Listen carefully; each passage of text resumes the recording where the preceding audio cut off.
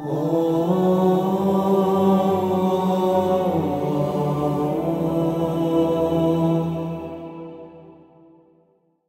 الله الرحمن الرحيم. كتب عليكم إذا حضر أحدكم الموت إن ترك خيرا الوصية للوالدين والأقربين بالمعروف حقا على المتقين.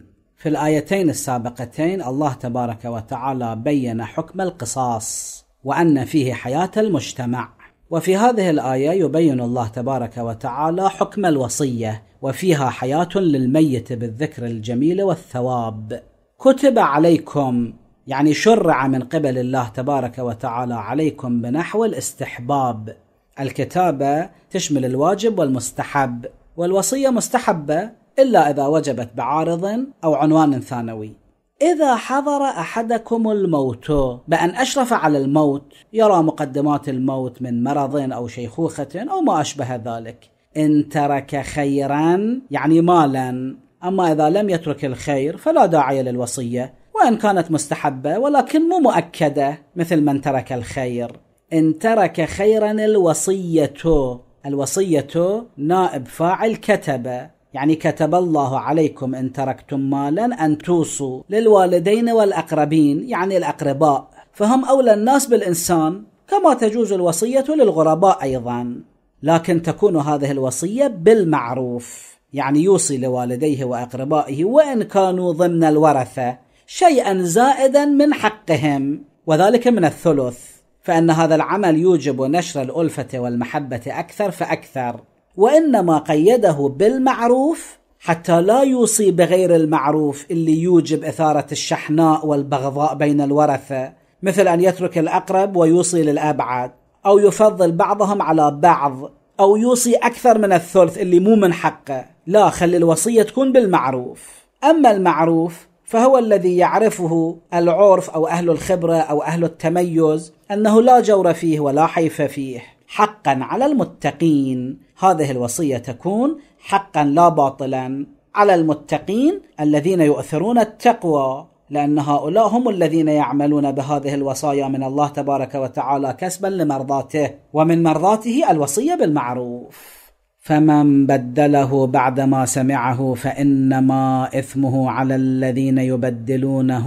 إن الله سميع عليم.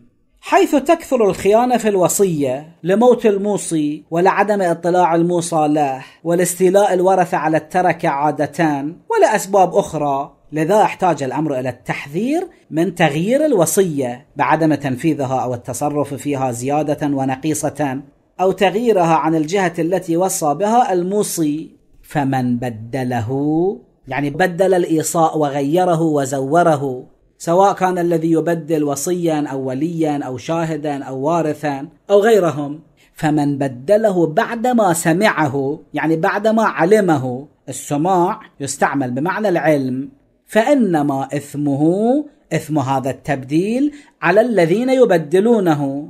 ليس الإثم على الموصي أو الذي يأخذ المال ارثا بغير علم بالوصية أو الذي يأكل المال زيادة على حصته.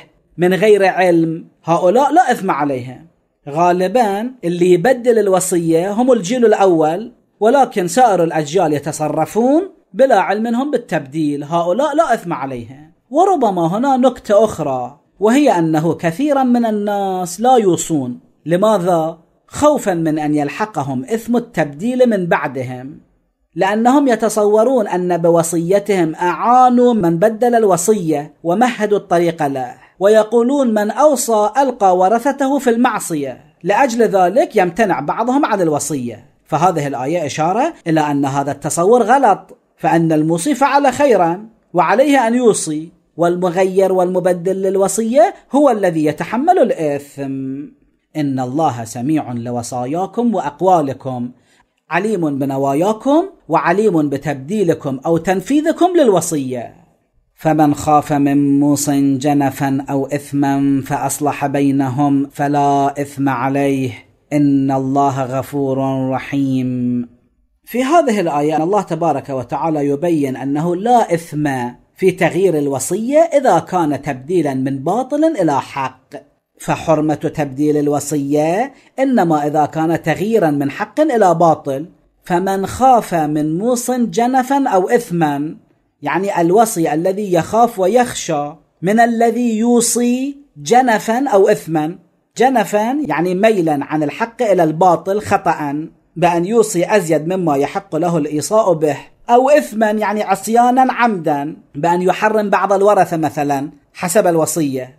فأصلح بينهم هذا الوصي جاء وأصلح بين الورثة والموصي والموصى له. بأن يرد الزائد إلى الورثة ويبطل ما فيه الإثم. هذا المصلح لا إثم عليه في تبديل الوصية. إن الله غفور رحيم.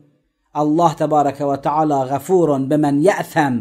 فكيف بمن لا يأثم؟ ورحيم بعباده حيث أمرهم بالإصلاح فيما بينهم. وهنا حكم شرعي مذكور في الفقه أن الوصية بما زاد على الثلث لا تنفذ إلا برضا الورثة. وصلى الله على محمد وآله الطاهرين.